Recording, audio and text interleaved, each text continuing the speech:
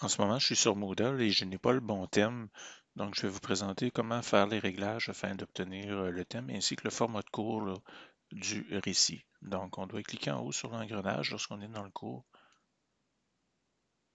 Et euh, une fois qu'on a été dans les paramètres, on vient euh, faire deux réglages.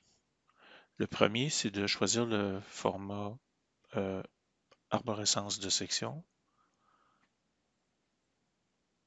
Et le second, dans Apparence, c'est choisir le thème du récit.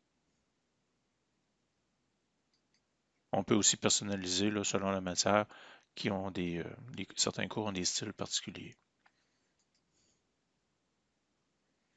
Donc, on obtient comme ça ici le format de cours euh, du récit avec euh, les fonctionnalités telles qu'on les connaît. Voilà.